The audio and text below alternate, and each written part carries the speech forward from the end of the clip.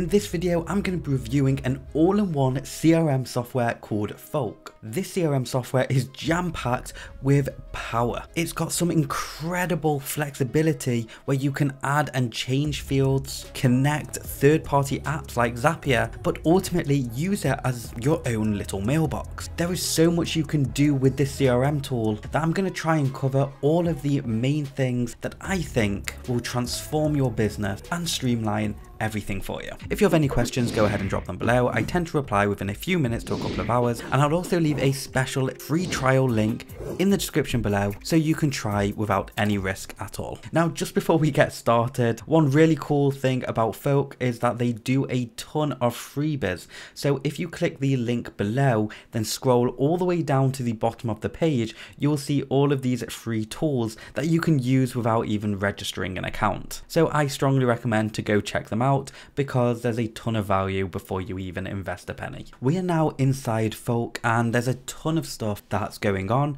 On the surface it looks extremely simplistic and not really that much to do, but as you watch me go through and start setting bits and bobs up, you'll realize, wow, this does a whole lot of stuff. First, let's explore the dashboard. When you log in, this is the first thing that you're going to see. You're going to see your navigation in the left hand side, and then you'll have your actual dashboard, which is where you will manage all of your contacts and do some really cool things. Now, before you do anything, go over to settings and members. And in this area is where you can invite your teammates. You can connect your Google account or your Microsoft account, and this will import all of your contacts directly into Folk. So you don't need to manually do much at all. And there's also some really other amazing stuff that this does, so I'm going to go through that shortly. Then under the senders, this is where we verify our emails so we can actually send emails directly from this app. In other words, we're going to be saying goodbye to our inboxes because we can do everything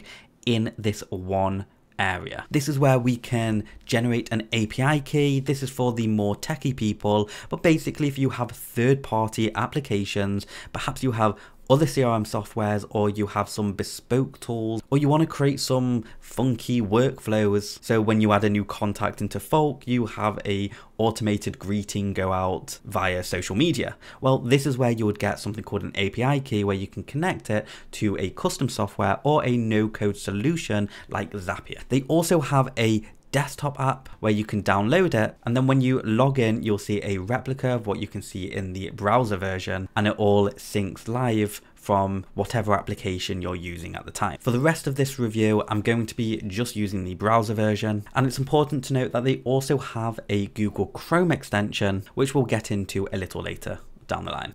Okay, so let's go ahead and set up some folders. So we'll head over to the left and we'll click the create a group and then you'll have a bunch of these templates here. Now these are pre-made templates that other people or folk have used and created for us and we can just one click and then use this template and now when we go into it we can see that we have the sub menu or we can call it a folder or or a category whatever you feel most comfortable with uh, folk user terminology group and then inside this group you will have all of these headings that match co-investors list. So all the information that you want will have a heading just like that. And this is all the pre-made templates for you.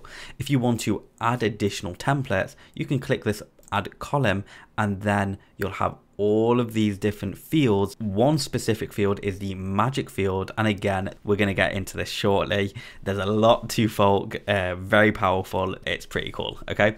But you can add custom headers to each of your groups so you can really get that flexibility and all the information that you need. If you don't want that group, hover over it and do delete group.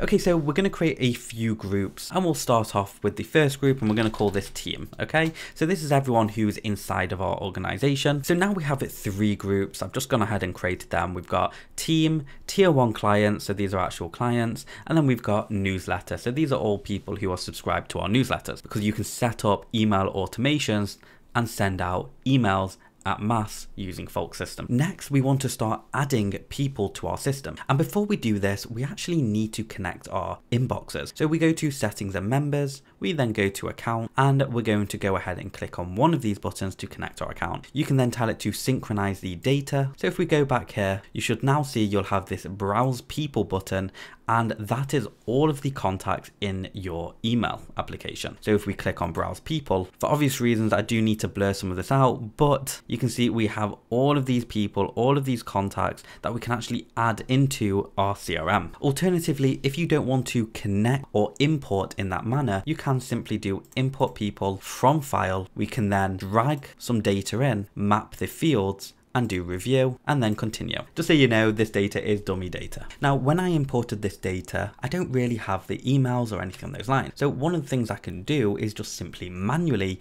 add this email. So if I double click on a field, I can say hello and add the email in just like that. And without needing to navigate to a different part of the CRM system, I've just updated that record at the click of a fingers. Super easy. We can also create different views to help us structure our data in different ways. So an example of this, we can actually create a grid-like data view. So if we just do new status and we'll just say no, we can say processing, we can say closed. Okay, so now we have all of these columns and all we need to do is actually drag these over like this. So you can create pipelines for all of your data and streamline it in that way as well. We can also click on the information and it will quickly show all of their data just like this. And again, it's not taking you to another screen. It's just a quick overlay that we can click and edit if we wanted to. And now I have a contact that's actually got some real data and I want to show you the sort of stuff that you can do with this. So if this is an existing contact in your database already and you've already had a ton of interaction with them, you can click on their name, go to interactions and this will show the past history of all the emails and communication that you've had with this person and it's all logged in a really clean format that you can look at, dive into and monitor. We can also send an email directly from our panel which will take us to here. This is where things get really streamlined because we can use shortcuts and variables to create templates and pre-populate information. So we don't always need to remember the names of people or what their businesses is because we can add variables in. So an example of this is we can say hello and then we can do the forward slash and we can add name. Whenever we send an email to this contact or the contact the field's populated in, it's going to populate the variable with that person's name. But we can go further and say, I was browsing your website, and then we can add browsing your website, add the variable in, and then add the company URL. And thought you could try these tips. And then we can do the forward slash again, and all of our custom header fields will show in this area. But what if you wanted to get really personalized or you wanted to start integrating AI into your processor? Well, check this out. We're going to go to our dashboard and in our dashboard we're going to add a column and the column we're going to add is magic field now what magic field does is it uses AI combined with the data that we've already given it to generate new information. An example of this is, so if we're going to prompt examples and click on generate company description, it's going to say write a description for company name whose domain is company URL. So I'm going to do save and I'm just going to add in the URL for this contact and then I'm going to do generate. It's now generated this description and what is it? It says Rent SEO is a professional website design company. That is spot on because that's exactly what Rent SEO is. And I'm going to rename this field as AI description. And then just like that, we now have a description. So this actually removes all of the research we would need to do when it comes to adding new contact into the system. So if we now come back to the email template and click on the insert variable tab, we now have a new custom field saying AI description, and that is the magic field. So we'll select that, and that would pre-populate this little area as the AI description, but it wouldn't make much sense, you know, in in the grand scheme of things if we said and thought you could try these tips with the AI description. So we could take this one step further by going back to the app, clicking the add column, doing another magic field, and we could say, write three useful tips to improve this business type and list them in bullet points. And now we're going to do AI description and do save. We'll then do generate. And if we have a look, offer responsive website design to ensure that the website provide a range of customizable website design,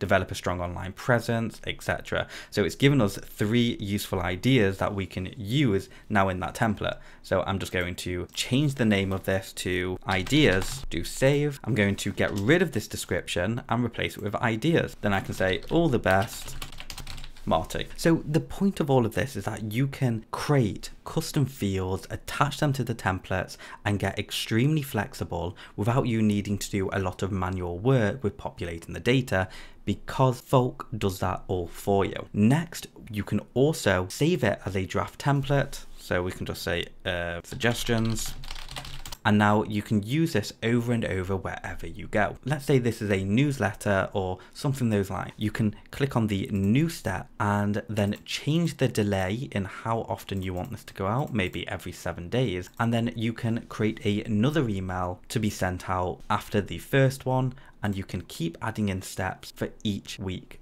an email goes out. So you can create full blown email series at the click of a finger for each individual contact in your system. Another really useful thing folk can be used for is actually cleaning up the contacts in your database because if you've been using the same email for years then you will most likely get a number of different emails for specific individual if they've changed around different positions in the company or they've rebranded their business name. So what they've got is something called clean up duplicate. And what this will do is it will detect if there's replicated data across different contacts inside your inbox. And if there is, you can do merge all or just merge that field and it will go. So we can do merge again. And now it's cleaning up your database, it's merging all the details of that one contact under one roof so you don't have tons and tons of replication. Heading over to messages,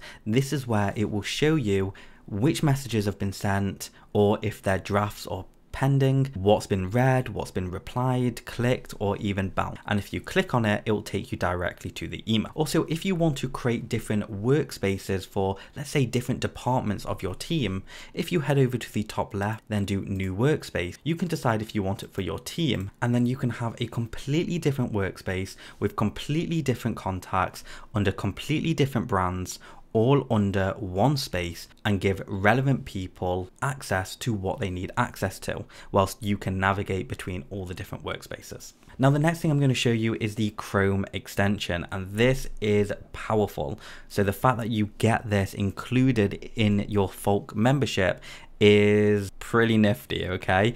So what we're going to do, we're going to head over to LinkedIn. I've already installed the app. It looks like this, okay? And when you're browsing through LinkedIn, if you see someone that you think, hey, I might connect with or I want in my database, you can click on their profile, then click the Folk extension icon, and you can add this person to your CRM software just by doing add to newsletter. And just like that, it's extracted all of the information from his LinkedIn profile in the right places, including URLs like websites and actual LinkedIn profile, his descript the descriptions, the phone number, all of it. So if we now go back to our app, our relevant workspace, look who we have right here. And now we can click on him, open up the contact, see what interactions we've had, and we've now got a new prospect that we can reach out to if we decide. If you head over to folk.app slash tutorials or click the link below, it's going to take you to all of the tutorials on, on every single feature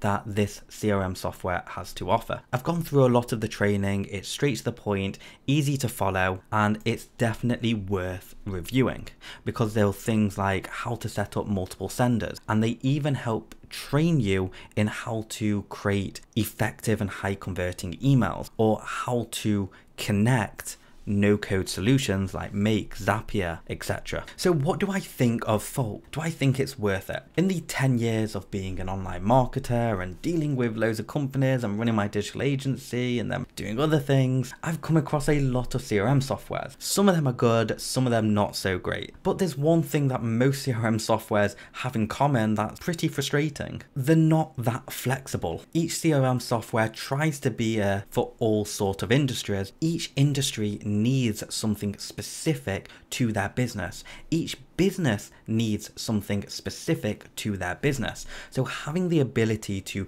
create custom fields and integrate AI as well as the desktop application where we can actually manage and treat the CRM software like an inbox is something that will only benefit a business. Finding a CRM software that does that without over cluttering or having the system be really slow is quite unique. So finding something like Folk where you can customize everything, where it uses AI but in a practical way, where it's fast, it's clean, it's not counterintuitive, is something that I think almost every single business should have in their arsenal. What are the main things that I like about Folk? Well, I absolutely love the Google Chrome extension. The fact that you can import leads from LinkedIn amongst a few other places is an amazing addition to a CRM software. I like the fact that we can create email series and that they've integrated all the variables directly in the email so we don't need to be copy and pasting with tags. It's just dynamically placed for us. It's great that we can connect multiple different domain names and also set up different different organizations so we can market or manage under different brands. But the thing I do like about Folk the most is the pure flexibility. The fact that you can create custom headers, custom fields, integrate that with AI, and really adjust everything that you need a CRM system to be for the specific business. And it's all done in a simple, streamlined, and practical way. So, would I recommend Folk? Yes, I would. Go check them out. I've left the link below. Thank you so much for watching, and I'll see you in the next video.